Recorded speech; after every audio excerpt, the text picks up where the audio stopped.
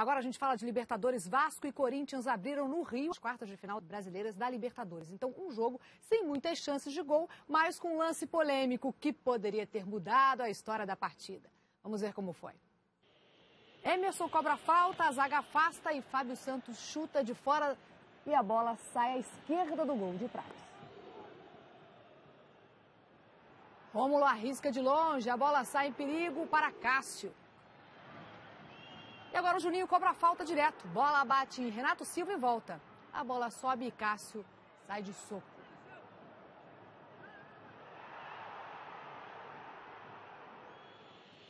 Agora a cobrança de falta de Alex. E o Fernando Praz rebate e o ataque corintiano não aproveita. Juninho cobra a falta novamente Cássio espalma.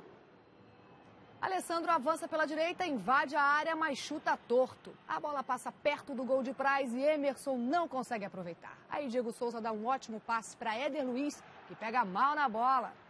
Perde mais uma chance.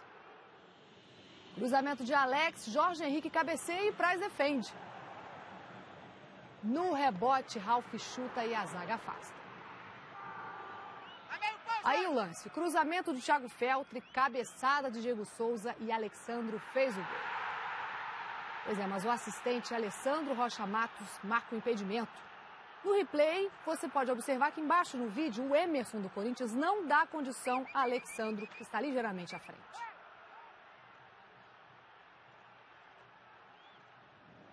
Aí nesse lance, Thiago Feltre cruza, Alexandro ajeita e Carlos Alberto chuta.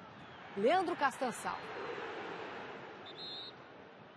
E o último lance do jogo, Newton toca para Éder Luiz, que rola de volta para Newton chutar. E a zaga corta.